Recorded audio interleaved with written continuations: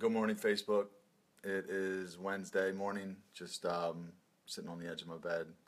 Finished up my quiet time. Uh, woke up this morning, did some cardio, and uh, visualized. And um, just wanted to make a quick video, share some thoughts. So, um, just you know, um, after I got done visualizing, basically I was just kind of, you know, thinking and and praying basically, and um, you know, was talking to God, and I was like, you know, expressing how I never thought it was going to take this long. You know, I don't know if anyone can relate to to that, but um, been grinding really hard for you know five plus years, um, chasing a dream, and um, starting to see you know see some results and and gain some traction, but still you know not where I thought I'd be, I guess, after all this time, and and uh, just you know, kind of processing those thoughts. You know, done a lot of that. Um, but you know, the funny thing about vision, I was really thinking about it this morning. It was like, you know, when you first kind of catch a vision for your life and you set out, it's almost like when you're traveling to a destination, you know, or picture you're going to a distant land you first set out towards this dream or whatever, you, you don't you don't even really know what it is exactly. You, maybe you've only it's only a feeling or or you've heard, you know, or you maybe you have an idea of what it is, but you can't see it completely. But the longer you travel toward that destination, that vision, the clearer it becomes, right? And the bigger it becomes. Just think, picture something on the horizon as you continue to walk toward it it becomes clearer in the focus and it becomes bigger. And that's exactly what's happened with me and my vision over the last five years. It's continued to grow and become clearer as to what I want to do.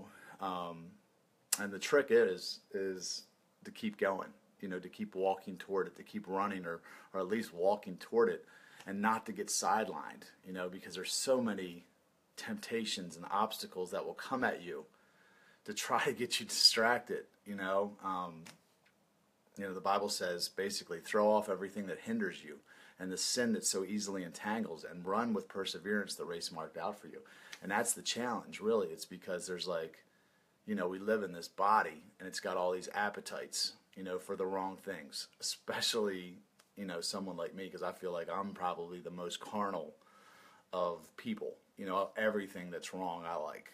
Um, it all felt very natural to me to do the wrong thing for most of my life. So learning how to do the right thing and walk, you know, be obedient to God, let's say, and just kind of walk with Him was very unnatural and challenging to me.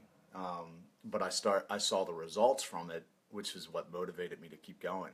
But the challenge is, is to when you see the vision becoming clearer and bigger, it's exciting.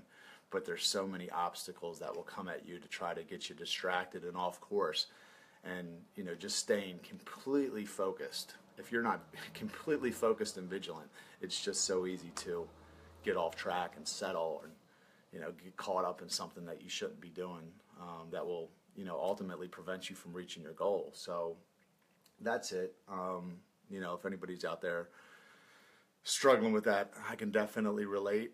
Um, but really it all starts with having a, a clear vision for your life. And it, it's you know, until I was 38 years old, I didn't really know. I had some vague ideas, but when I started meeting with Lori Lockamy, that is when I started to get clearer about it, and that's what really motivated me and pushed me out um, to go through the pain of transformation. Because that's the if you you know when you have a clear vision, it will push you through the pain of transformation. But it's getting that vision. So Lori and I have been working on something called Life Together. It's going to be an eight week course um, that people will get together in their living room. It'll be free, and you'll be able to watch a video, do some exercises, and then have a conversation about those those videos um, and get a homework assignment. So by the end of the eight weeks, you'll actually have a vision statement that you will have written for your life, and you'll have a real good understanding of what your purpose is.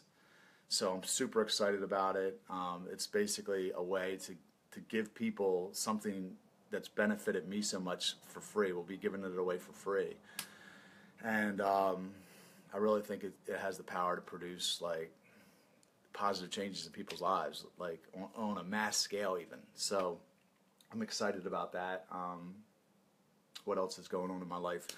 I'm going to speak at a conference in Florida in a couple weeks uh, to talk about relationships, which is kind of funny considering I haven't had one in over five years, but uh, I definitely know what not to do.